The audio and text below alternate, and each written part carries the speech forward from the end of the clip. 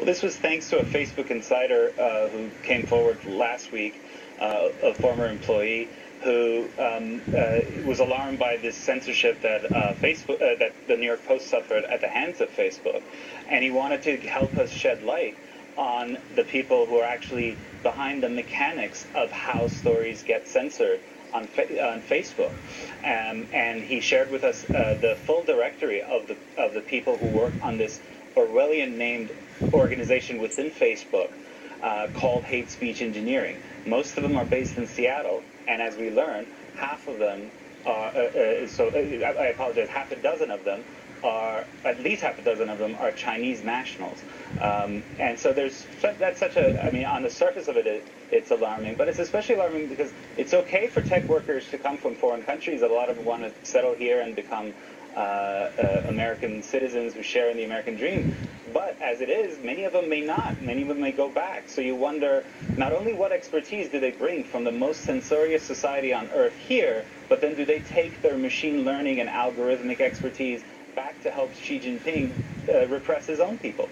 Well, exactly. I mean, this is not just any nation. And I think most people, even essentially immigration restrictionists like me, love to see immigrants come here and thrive and buy into the American idea. Of course we do. Every American loves that. But this is China.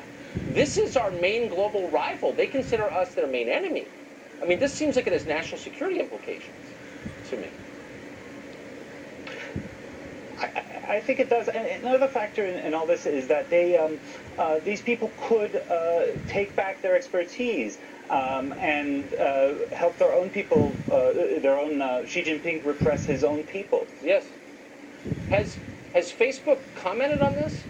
I mean, th- there there's such an the, the symbolism in importing people from the most repressive big country on the, the planet to repress our population. I mean, what's what's their explanation for this?